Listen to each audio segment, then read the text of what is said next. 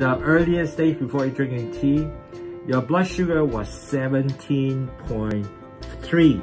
Yes. 16, 17 per 3. And then your whole day was 17.3. Scary, isn't it? Scary, isn't it? Yeah.